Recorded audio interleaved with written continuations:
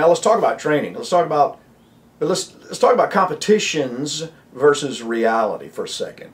Um, you know, let's face it, competition's fun. We go to the range, we do competitive drills all the time. All of us are always trying to uh, outdo the other guy. Um, it's fun, and if it's applied correctly, it can help you in your marksmanship, your weapon handling skills, and your confidence. But with the positives that come from competition, uh, also comes um, potentially potentially bad habits of moving too fast for the tactical situation, right? Uh, in real life, the bad guy and how fast he falls is going to dictate the speed of that fight, right? You you can run all day, but if you run to your death, I mean, you did yourself no good. It might be a fast process, or it might be a slow process, depending on the bad guy and how fast he falls. Uh, the bad guy dying, but you should get in the habit of solving one problem at a time before moving on to multiple threats, right? You use your cover and you take that opportunity to find one, deal with it, move to the next one, deal with it, but don't rush out there and try to get everything done at once. You're going to die. Um, you can shoot two rounds on paper, or you can, you, can, you can ping a piece of steel and you can move to the next target. But in reality, two rounds or the sound of steel being struck, it may not solve your problem. So train yourself to shoot until it goes away, right? Think about this for a second. When do you stop shooting? Until whatever you're shooting stops doing what you shot it for in the first place, right?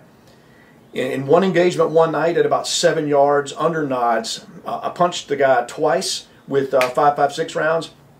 And then I stopped for just a split second on that trigger, looking for a response from that dude. We were trained to do controlled pairs, right? That's not a double tap. A double tap is just bang, bang. A controlled pair is I see the sight, bang, I see the sight, bang. Not double taps, there's a difference. But, so I, I, I popped him twice and watched for a second. And that was dumb of me. Uh, the pro because the problem was that he's still standing with his AK. And so I hit him with two more before he began to fall to the ground. And I, I couldn't believe it, but as I watched, he stood back up before he collapsed a second time, before his uh, hydraulic fluid leaked out and he lost pressure and died. Lesson learned from me. Shoot until they go away. Not one, not two, not maybe three. Uh, so what we did was we, we adapted a version of the bill drill, right? You know the bill drill, it's six rounds, right? The benefit of the bill drill is not only does it uh, teach speed and recoil control and the ability to follow the sights, but it conditions shooters to not uh, be locked into stopping too soon.